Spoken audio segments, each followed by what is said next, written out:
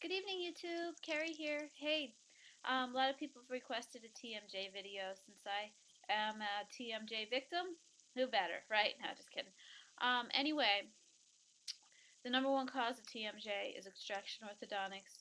Um, you ask any occlusion specialist, and they're going to tell you that. You ask any functional orthodontist, they're going to tell you that. You ask a traditional orthodontist, they'll say you're nuts. It doesn't exist. There's no case studies. So, balls in your court. But anyway, um, why you would get TMJ from braces is because your jaw is moved backwards. Your mandible is forced backwards, forcing your lower teeth nowhere to go but backwards. And that moves your mandible backwards. In my case, it moved behind my ear, causing popping, snapping immediately. However, well, I started experiencing that around 14. Um, orthodontist completely blew me off on that. Well, why should he bother? You know, my parents signed an orthodontic consent form that pretty much let him full range everything. Um, but anyway, the jaw popping started about 14. The um, the pain didn't start till about 24 though.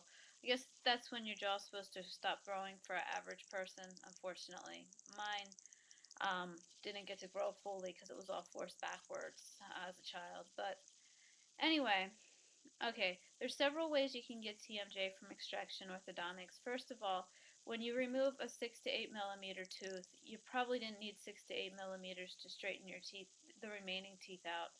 Um, so it's, it's really silly because you probably needed about 2 millimeters and now you've removed 8. So what happens with the other 6 millimeters is everything else gets pushed backwards, um, especially when you move your lower teeth backwards. Um, your upper teeth backwards, I'm sorry, your lower teeth have nowhere to go but behind them. Um, when that's moved backwards, your mandible is forced backwards, in my case, behind my ear. Where it sits now. Or it should sit. Okay.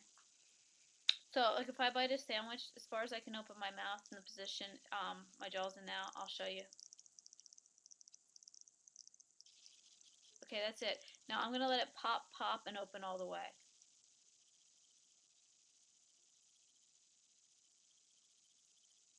Okay, closing that on a straight axis puts me to here. Okay, to get it to sit so my teeth meet, pop, pop, and I'm there. Okay, so when the mandible is forced backwards, these muscles in here start having spasms, and it gives you a chronic headache. Also, when your jaw is forced backwards like that, it causes you to lean forward a lot, which instead of relaxing backwards, you lean forward. Um, what that does too is that creates neck tension, lower neck. It's like right about here. It's really sore all the time for me. Also, I have shoulder pain very frequently because of this. Um, that's one way TMJ can be caused from orthodontic work is just simply by moving the teeth back. Also, tipping them into unnatural positions is the other way, and I'm going to show you because I have kind of both of the symptoms that would lead to this.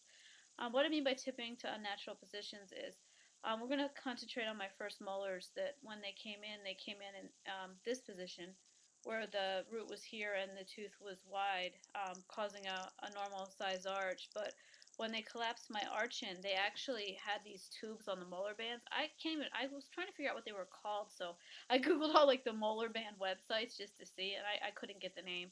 But anyway, they put the molar band on that made the bracket on the next tooth come farther out than this first molar. So therefore, that first molar is actually farther inward than the molar underneath it on the bottom row, which is completely messed up. But I guess it was just a cheap way to give me straight teeth and move on to the next patient. Okay, so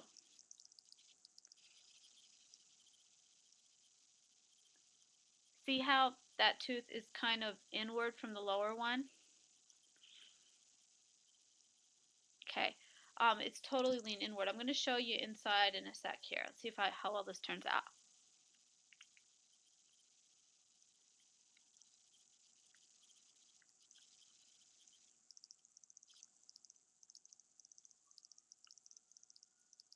Okay, yeah, probably not going to work too good.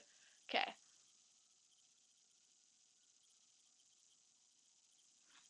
Alright, well you can see the premolar here and you can see the first molar here. It's leaning inward. It sinks in big time from the tooth in front of it. Um, what that did was that took it from this position to this position, so it's leaning inward. Okay, that would be kind of like um, I'm just forcing a bone in the wrong position. And see, now my jaw has to compensate for that, and that's not the position it wants to bite in at all. Okay, that's the other way you can get TMJ from orthodontic work.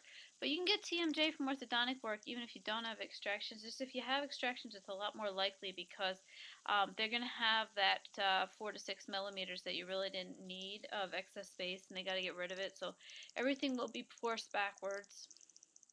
I don't know um, why they're doing this still. I have no idea, but I just wanted to put this video out there so anybody remotely considering getting this work done would at least see what will happen in the future. Um, I talked to a couple of occlusion specialists. They said the most common trait in all their patients is they um, are ex-orthodontic patients that either had two or four teeth removed. Um, unfortunately, traditional orthodontists still don't believe that um, that you can get TMJ from extraction orthodontics. It's even possible. Well, of course not, because that's their industry, that's their business. And they would want to remove four teeth versus working with all the teeth you have because they're going to get a referral from the person that referred, they referred you to, the oral surgeon. And they're also going to have um, an easier job rather than seeing how to expand for the proper space so you can get your face into the proper proportions.